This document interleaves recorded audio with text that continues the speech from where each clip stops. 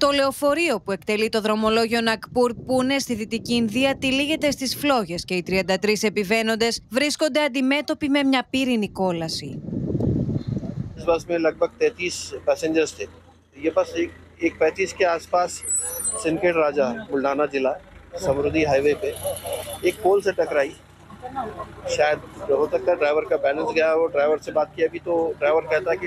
Σύμφωνα με τις αρχές, ο οδηγός του μοιραίου λεωφορείου έχασε τον έλεγχο του οχήματος και προσέκρουσε στο διαχωριστικό του αυτοκινητοδρόμου, με αποτέλεσμα το όχημα να τυλιχθεί στις φλόγες, οδηγώντας το θάνατο τουλάχιστον 25 ανθρώπους.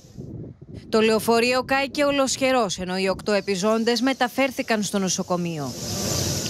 Τραγωδία στη Δυτική Κένια για τουλάχιστον 51 ανθρώπους που χάνουν τη ζωή τους στην άσφαλτο. Ο οδηγός ενός φορτηγού χάνει τον έλεγχο και πέφτει πάνω σε οχήματα και πεζούς στην πολυσύχναστη αγορά του κόμβου Λοντιάνη.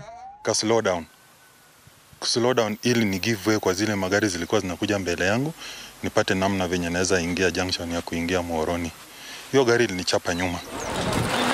Επικρατεί χάος. Τουλάχιστον 32 άνθρωποι τραυματίζονται με τις αρχές να εκφράζουν φόβους ότι η μαύρη λίστα των νεκρών ενδέχεται να μεγαλώσει, καθώς πιστεύουν ότι υπάρχουν κι άλλες σωροί θαμένες κάτω από τα συντρίμια. Συναγερμό στην Καλιφόρνια. Ο ουρανός στο Μπέρμπανκ γίνεται μαύρος από τον καπνό που πνίγει την περιοχή όπου βρίσκεται το διάσημο στούντιο της Warner Bros.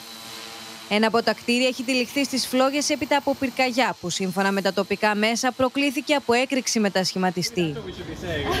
Yeah, it's part of a movie. That's why it's fun. Αυτόπτες μάρτυρες ακούγονται να μιλούν για τον καπνό πιστεύοντας ότι πρόκειται για κάποιο γύρισμα. It was contained to just one building. There are no, no reports of any injuries. Employees have been told to go home. Οι πυροσβέστες έσπευσαν στο σημείο και κατάφεραν να σβήσουν άμεσα την πυρκαγιά.